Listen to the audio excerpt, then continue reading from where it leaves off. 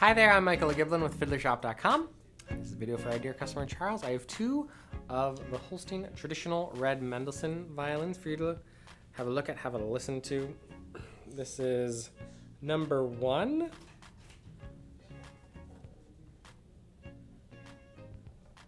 And this is red Mendelssohn number two.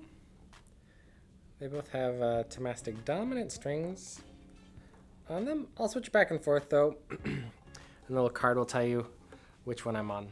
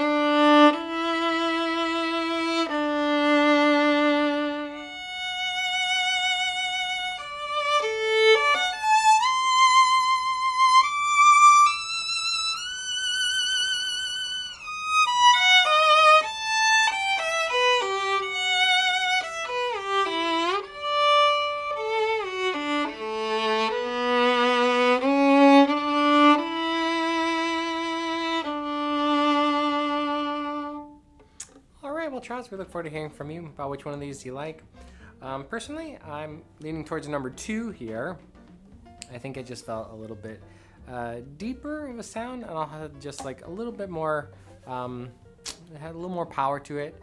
Uh, the first one was also surprisingly deep sound for with the, how the traditional red Mendelssohns typically sound. I feel like they're um, normally a little bit brighter, a little bit more focus of a sound.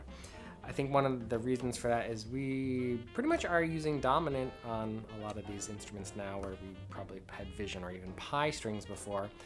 And um, I think it's a little more well suited for these instruments. Everything's a little bit uh, warmer and more, um, a little more depth to it. So let us know what you think. For everybody else, if you're watching this, you'd like to learn more about this instrument, the Holstein Traditional Red Mendelssohn, I have a link for it in the description box below. You can find stuff at the end of the video as well. Thanks so much, and we look forward to seeing you at fiddlershop.com. I hope that was informative and helpful. Yeah, if you want to buy this product, just click right up here. Right there. Do it. There, we do would it. also love it if you subscribe to our channel so we can keep in touch. It's right over there. And if you want to learn more about us, click right here. Ba-da-ba-ba, Fiddlershop.